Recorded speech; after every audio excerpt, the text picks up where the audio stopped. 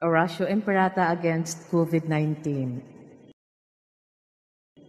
Merciful and compassionate Father, we come to you in our need to ask your protection against the COVID 19 virus that has disturbed and even claimed lives. We ask you now to look upon us with love, and by your healing hand, dispel the fear of sickness and death. Restore our hope, strengthen our faith.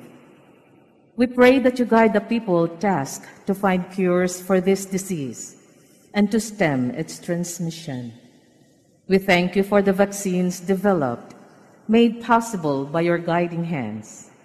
Bless our efforts to use these vaccines to end the pandemic in our country.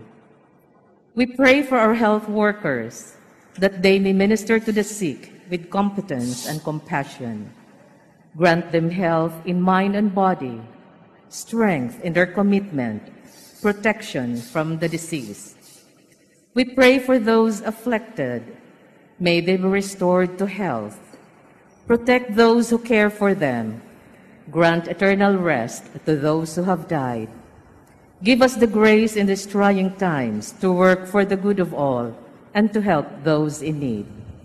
May our concern and compassion for each other see us through this crisis and lead us to conversion and holiness.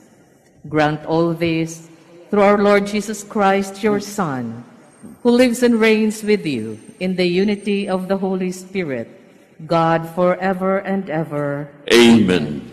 We fly to your protection, O Holy Mother of God. Do not despise our petition in our necessities, but deliver us always from all dangers. O glorious and blessed Virgin. Amen.